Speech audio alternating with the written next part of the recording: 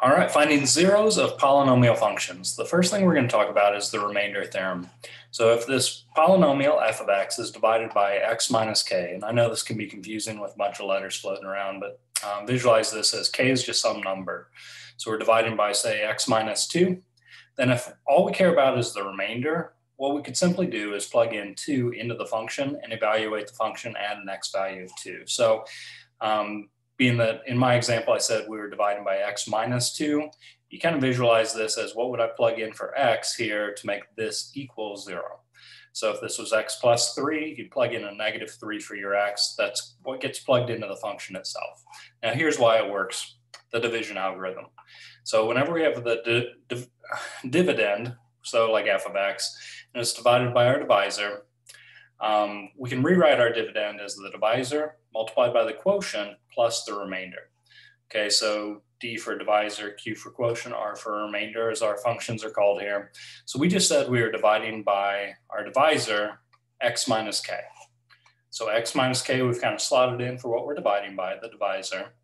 Now, if we want to evaluate this at K, we plug in a K into the function. It replaces this X and this X and technically it'd be r of x here at the end as well. Um, but when we plug it in here, we get k minus k. So that makes a zero. And then zero times anything is going to be zero. So all of this disappears and we have zero plus r. We're just going to be left with the remainder, whatever r is. Let's put this into practice with a couple of problems and I'll show you an alternative way to go about this as well. So if we want to uh, use the remainder theorem to evaluate this function, f of x, at x equals 2, that means we're dividing by x minus 2. So one way we have to do this is we can use the remainder theorem and plug in 2. So we can evaluate this at 2. So we have 6 times 2 to the fourth power minus 2 to the third power minus 15 times 2 squared plus 2 times 2 minus 7. And then we can either work this by hand one little step at a time, or we can get the calculator out and get that to help us out. This eventually makes 25. So what that tells us is if we divide by x minus 2, the remainder would be 25. Okay, so that's one way to go about this. I tend to not use the remainder theorem as much on these because we want more information than just the remainder typically. So another alternative way to do this is if we're dividing by x minus 2, we can we can do synthetic division by putting a positive 2 out in front.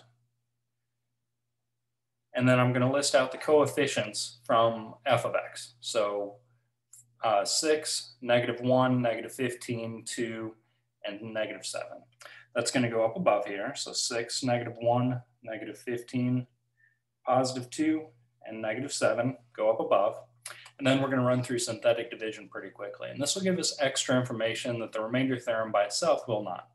All right, so synthetic division, the six comes down. And then our process goes, we multiply. So two times six makes 12. And then we add vertically. So negative one plus 12 makes 11. Back to multiplying, two times 11 makes 22. Adding negative 15 plus 22 makes seven multiply 2 times 7 makes 14. Um, add 2 plus 14 makes 16. One more multiply, 2 times 16 makes 32. And finally, we add negative 7 plus 32 makes 25. If you'll recall from synthetic division, the remainder in synthetic division is given by this last digit, the 25. But this also gives us extra information that we're going to want later on. The rest of these digits over here, these represent the quotient. Okay, so listing out the quotient, that, that last digit is going to be a constant. Then we go x, x to the second, x to the third as we kind of build this up. So we could write out our quotient as 6x to the third plus 11x squared plus 7x plus 16 with a remainder of 25. Okay, so Synthetic division does give us a little bit of extra information, and honestly, it's not that difficult as we're just adding and multiplying the whole way through, which usually goes pretty quickly.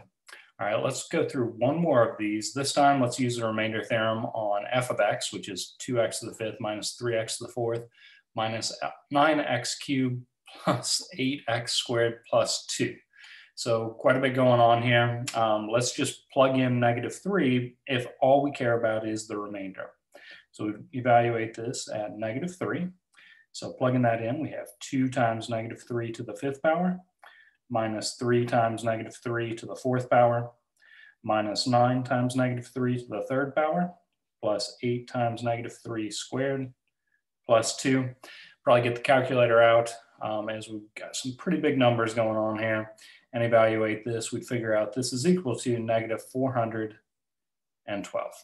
Okay, so the remainder, if you divide f of x by x plus 3, is going to be uh, negative 412. All right, hope this helps out with the remainder theorem. I am going to go away from the remainder theorem and use synthetic division quite a bit more, just because of the extra information it gives us, but it also gives us the remainder.